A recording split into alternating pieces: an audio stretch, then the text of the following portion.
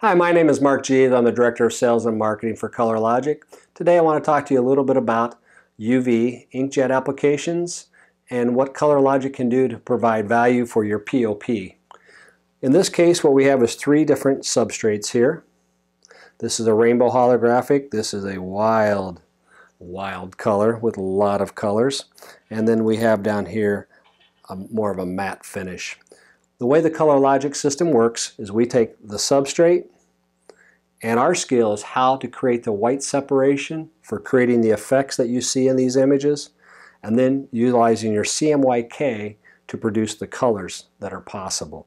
So again, this is one the same image on three different substrates and our goal here is to show you what is possible with your UV inkjet on a variety of these metallic substrates.